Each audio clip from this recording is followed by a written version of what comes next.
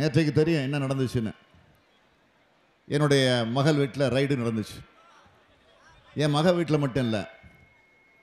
ஏற்கனவே ஒரு வாரத்துக்கு முன்னாடி திருவண்ணாமலைக்கு நான் பிரச்சாரத்துக்கு போயிருந்தப்போ அங்கே அந்த மாவட்ட செயலாளர் முன்னாள் அமைச்சர் அந்த தொகுதியினுடைய திருவண்ணாமலை தொகுதியினுடைய வேட்பாளர் வேலு அவருடைய கல்லூரியில் அவருடைய கெஸ்ட் ஹவுஸில் அவருடைய கல்லு அவருடைய தொழில் நிறுவனங்களில் அந்த கெஸ்ட் ஹவுஸில் நான் தங்கியிருந்தேன். அந்த தங்கியிருந்த அறையில் எல்லாத்துலேயும் வந்து ரைடு பண்ணாங்க.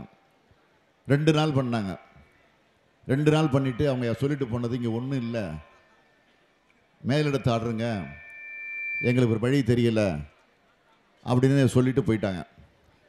அதே மாதிரி நேற்று காலையில் திடீர்னு என்னுடைய மகள் வீட்டில் வந்து ரைடு அதே மாதிரி கரூரில் செந்தில் பாலாஜி நம்முடைய வேட்பாளர் மாவட்ட செயலாளர் அவருடைய வீட்டில் அவங்க உறவினர் வீட்டில் நண்பர் வீட்டில் ரைடு ஒன்றுமே எடுத்துகிட்டு போகல அதே போல் அண்ணா நகர் தொகுதி சட்டமன்ற உறுப்பினர் வேட்பாளராக நிற்கிற மோகன் வீட்டில் ரைடு வராங்க வந்த உட்காந்து ஆஃபீஸர்லாம் வீட்டில் உட்காந்துட்டு காஃபியும் டீயும் சாப்பிட்டுக்கிட்டு டிவியை போட சொல்லி டிவியும் பார்க்குறாங்க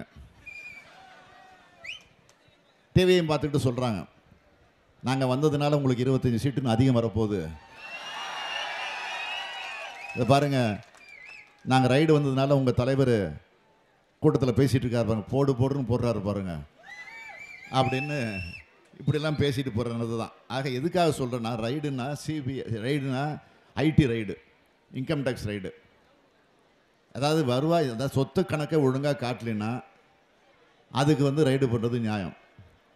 நான் கேட்குறேன் தேர்தல் இன்னும் ஒரு நாலஞ்சு நாள் தான் இடையில இருக்குது ஆக அப்போ வந்து ரைடு பண்ணுறது நியாயமாக ஒருவேளை நாங்களே தப்பு பண்ணியிருந்தோம்னு வச்சுக்கோங்க. ஒரு மாதத்துக்கு முன்னாடி வந்து ரைடு பண்ணு. அல்லது தேர்தல் முடிந்ததற்கு பிறகு அதுக்கப்புறம் வந்து ரைடு பண்ணு. ஆக தேர்தல் பணியை செய்ய விடக்கூடாது என்பதற்காகவே ரைடு. நாங்கள் இதெல்லாம் பார்த்து பழகி போச்சு. திமுகங்கிறது பணங்காட்டு நெறி இந்த சலசலப்புக்கெல்லாம் நான் வஞ்சிட மாட்டோம். நீங்கள் வேண்டுமானா முதலமைச்சர் பழனிசாமியுடைய அலுவலகத்தில் போய் ரைடு பண்ணலாம். துணை முதலமைச்சர் பன்னீர்செல்வத்திட்ட போய் ரைடு பண்ணலாம். தலைமைச் செயலகத்தில் ரைடு பண்ணலாம். மக்கள் நல்வாழ்வுத்துறை அமைச்சர் விஜயபாஸ்கருடைய கம்பெனியில் அவங்க காலேஜில் அவங்க இருக்க அவங்க நடத்துகிற கோரி கம்பெனியில் போய் ரைடு பண்ணலாம். அதெல்லாம் ரைடு பண்ணி மிரட்டலாம். அவங்க பயந்து உங்கள் காலில் வந்து விழலாம் ஆனால் நாங்கள்லாம் கலைஞரால் உருவாக்கப்பட்டவர்கள். எந்த காரணத்தை கொண்டும் உங்களுக்கு அடிபடிய மாட்டோம். மிஸ்ஸா சட்டத்தையே பார்த்தவங்க. ஒரு வருஷம் சிறையில் பல கொடுமைகள் அனுபவித்தவங்க அதை பற்றிலாம் நாங்கள் கிஞ்சிட்டும் கவலைப்பட மாட்டோம்.